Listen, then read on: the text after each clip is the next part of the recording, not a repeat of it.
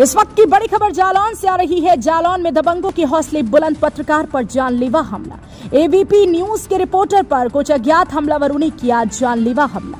पत्रकार को आई अंदरूनी और गंभीर चोटें, धारदार हथियार से लैस थे हमलावर। घायल पत्रकार खून से लथपथ हालत में पहुँचा कोतवाली। पुलिस ने तत्काल उपचार के लिए अस्पताल पहुँचाया, जहाँ डॉक्टरों ने हालत गंभीर होने के चलते जिला अस्पताल उड़ई किया रेफर। जालौन कोतवाली क्षेत्र के जालौन कस्बे की घटना। इस वक्त की बड़ी और अहम खबर न्यूज़ थर्टी एक्सप्रेस टीवी आपको दिखा रहा है। जालौन से ये खबर है, जहाँ दबंगों के हौसले किस कदर बुलंद है, इस घटना से आप अंदाज़ा लगा सकते हैं। दबंगों ने एक पत्रकार पर जानलेवा हमला कर दिया। पत्रकार को अंदरूनी और गंभीर चोटें आई हैं। धारदार हथियार से लैस थे हमलावर एबीपी न्यूज़ के रिपोर्टर पर कुछ अज्ञात हमलावरों ने ये जानलेवा हमला किया। घायल पत्रकार खून से लथपथ हालत में कोतवाली पहुँचा।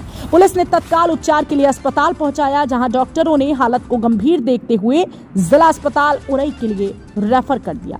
जालौन कोतवाली क्षेत्र के जालौन कस्बे की घटना। बड़ी और अहम खबर न्यूज़ थर्टी एक्सप्रेस टीवी पर आप देख रही हैं जालौन से। उधर क्या नाम है आपका? प्रमोद द्विवेदी नाम है। प्रमोद द्विवेदी अपने घर से हम जो है रैंडर जा रहे थे। जी। परिवार रैंडर रहता है। जी। अचानक जो है पुरानी रंजिश को मानते हुए पाँच लोग आए। जी। गाड़ी को रोक के गिरा लिया हम और जो है हमला कर दिया। अच्छा कौन लोग थे और क्यों हमला किया? एक को पहचान पाए मंगल था बाकी चार लोग हो सकता उसी परिवार के और एक ऊपर जन। जी। बांधे थे इसलिए नहीं पहचान कहाँ कहाँ चोट आई आपको? जी हमारे सीने में चोट है पीठ में हाथ में और कमर में सब जगह।